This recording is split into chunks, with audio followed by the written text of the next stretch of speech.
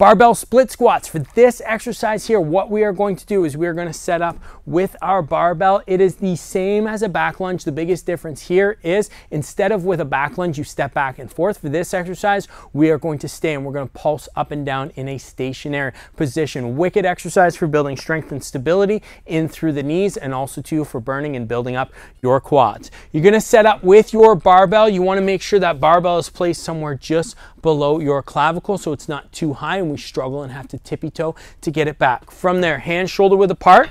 My head's gonna go directly under the center of the bar and I'm gonna rest that bar right on my trap. So from here, one foot forward, one foot back.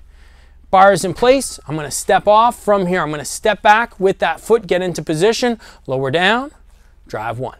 Lower down, two.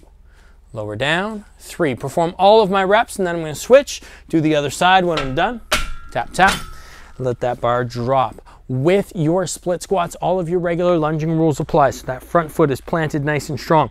Big toe down, pushing through the floor, toes, knees, hips, all aligned. As I lower, I'm lowering down like an elevator, and then I push off strong with that front foot. Lower down like an elevator, push off strong with that front foot. From a side angle view, I want those legs coming down, sorry, those knees coming down to about a 90 degree position, and then pushing it off, feeling it through the glutes, through the quads of that front leg with a little stretch through the back leg.